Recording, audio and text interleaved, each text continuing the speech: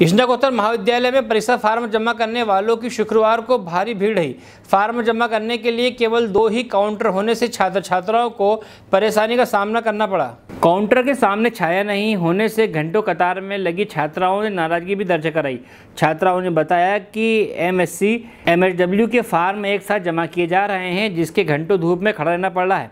Media के पहुँचने पर कॉलेज प्रबंधन ने छात्राओं की सहूलियत के लिए कार्यालय परिसर में ही कतार लगवाने के निर्देश दिए थे। इसके बाद राहत महसूस की गई। फ़िलहाल फार्म जमा करने की प्रक्रिया 30 मई तक जारी रहेगी। खरगोन से जयंत गुप्ता की रिपोर्ट।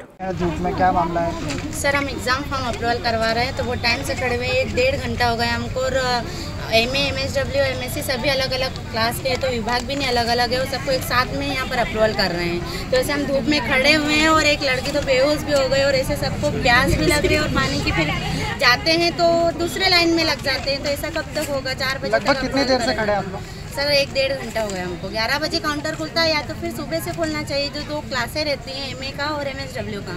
सुबह की क्लासे रहती है तो उनका पहले कर देना चाहिए। एमएससी का बाद में होता है ग्यारह बजे आते हैं तो उनका बाद में करना चाहिए। आपके हिसाब से कब तक खड़ेंगे?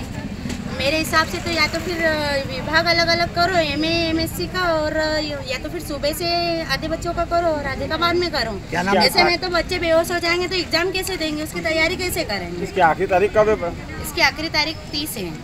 क्या नाम आपका? मेरा नाम टीना कुशवाहा है। टीना अशोक कुशवाहा है।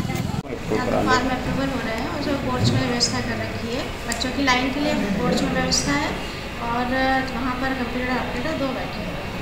बच्चे बच्चे नीचे चले जाते हैं उसके लिए क्योंकि जब बच्चों को ऐसा लगता है कि हमारा नंबर नहीं आ रहा तो बाहर से लाइन लगाएँगे अभी तो पूछा मैंने आप लोगों के सामने। नेटी बाहर धूप है मैडम है बच्ची बेहोश भी हो गई है।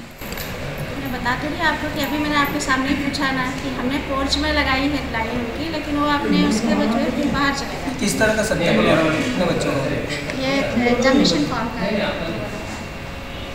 कब तक चलेगा ये? कब से स्टार्ट हुआ ये तीस तक चलेगा।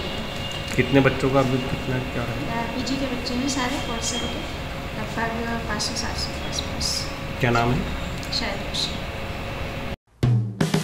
हेलो फ्रेंड्स आप देख रहे हैं हमारा channel S W twenty four news हमारे सारे वीडियो सबसे पहले देखने के लिए आप हमारे चैनल को सब्सक्राइब करें और पास में लगे बेल आइकन को दबाना बिल्कुल भी ना भूलें।